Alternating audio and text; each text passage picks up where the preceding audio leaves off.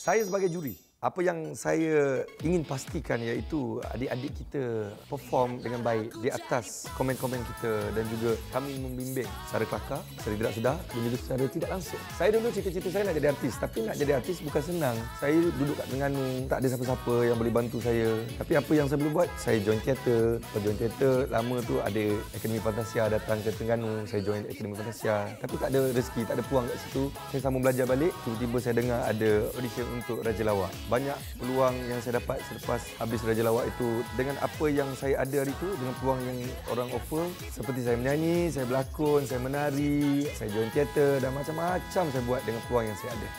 Adik-adik saya yang saya sayangi, Ceria Popstar segalanya bermula di sini. Jangan lupa saksikan Ceria Popstar musim ketiga bersama saya Zizan Razak setiap Jumaat jam 9 malam hanya di Astro Ceria untuk kita aja.